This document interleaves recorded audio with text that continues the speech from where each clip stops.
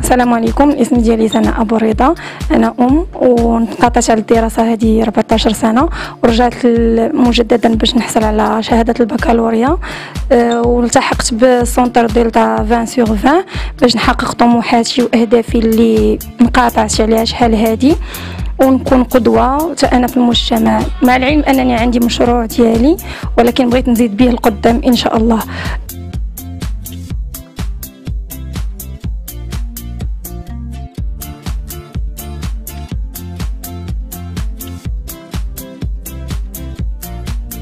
آه، بمناسبة العيد العالمي للمرأة آه، كنبارك الأنثى آه، سواء كانت طفلة أو أو زوجة أو أم بهذا اليوم العالمي اللي كيرسخ ليها تحقق طموحاتها تحقق طموحاتها وأحلامها وأفكارها وأفكارها وتكون ركيزة في المجتمع في المجتمع المغربي. آه، وكنقول لها عيد مبارك سعيد وبالتوفيق إن شاء الله ودائما متالقه ونجمه ساطعه الأطفال بأن الأم أو الأب ما تيكونوش قارين.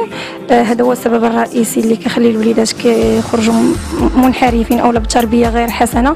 لذلك يجب على المرأة أو بصفة عامة المرأة أو الرجل آه، خصهم يكملوا قرايتهم ويتمدرسوا لأن الثقافة آه، والتمدرس هو أهم شيء في الحياة آه، في المجتمع ديالنا. ولذلك التحقت بال centre Delta sur 20 20 sur 20 باش نحقق أحلامي ونكمل قرايتي وناخذ شهادة البكالوريا إن شاء الله بمعدل بمعدل جيد. والرساله اللي كنوجه للنساء أو للفتيات اللي انقطعوا الدراسه بانهم يرجعوا لدراستهم ويكملوها لأن بلا دراسة المرأة ما كتساوي ما كتساوي حتى حاجة.